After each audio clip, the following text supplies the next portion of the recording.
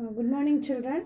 So, uh, in the last class we studied about uh, aquatic habitat. No, so next one is uh, terrestrial habitat. Okay, uh, what is mean by uh, what is mean by aquatic habitat? So the areas permanently that covered by water that is said to be aquatic. Then uh, terrestrial means that area that are covered by land. Okay, uh, land if uh, that areas uh, covered by land means it's uh, comes under this uh, ter- terrestrial habitat. Okay.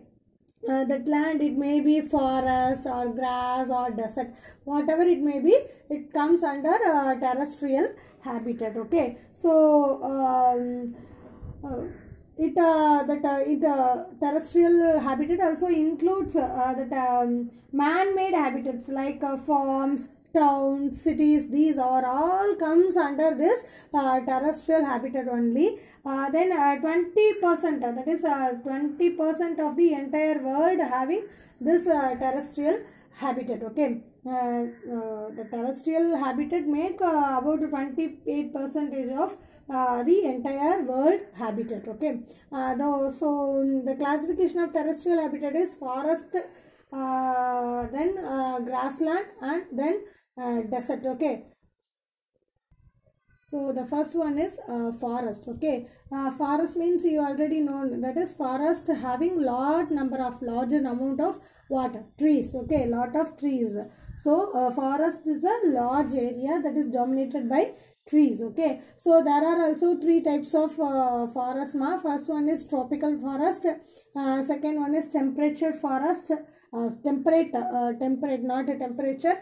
Temperate temperate forest temperate forest uh, then uh, mountain forest okay? Uh, mountain forest these are the three types of uh, forest okay? Uh, tropical uh, temperate and mountain forest okay? So the annual rainfall of this forest is 25 to 200 centimeter. These are the things given in your book about uh, forest habitat ma. Example for forest habitat is evergreen forest okay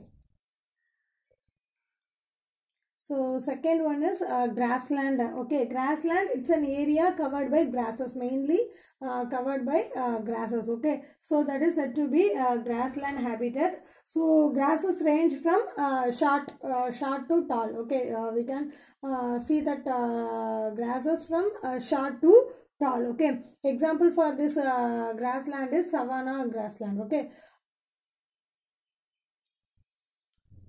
So the third one is uh, desert. Okay, you already know what is desert. Uh, that is, uh, it is a land having lack of water. Okay, desert is a habitat uh, which is having lack of water. That that, uh, that is without much water is said to be desert. Okay, lack of water. The places having lack of water, lackage of water means it is said to be uh, desert. So these are the driest uh, place on the earth. Desert are the uh, driest place on the earth. Um, the rainfall is uh, less than uh, 25 centimeter for annual. Okay, annually the rainfall is less than uh, 25 centimeter. Okay, here see uh, forest area uh, that annual rainfall is 25 to 200 centimeter. But here less than that annual rainfall is less than uh, 25 uh, centimeter. So deserts cover at least uh, 20 percent of the earth. Here uh, 20 uh, percent of uh, um, earth is covered by uh, desert. Okay, uh, this is about uh, desert ma. So the types uh, hot, dry uh, deserts, uh, semi-arid uh, deserts, then coastal deserts and uh, cold deserts. Okay, uh, these are the uh, types of uh, deserts and uh, examples are cactus, Bryophyllum are the some of examples for um, this uh, desert uh, places ma. So this is about uh, terrestrial habitat. So it is classified into three uh, forest, grass, uh, desert. Okay, terrestrial habitat means that area that are covered by land. Okay, uh, land, uh, man-made uh, cities, uh, streets. These are also comes under this uh, terrestrial habitat. Uh, so the terrestrial is classified into three: forest, grass, and desert.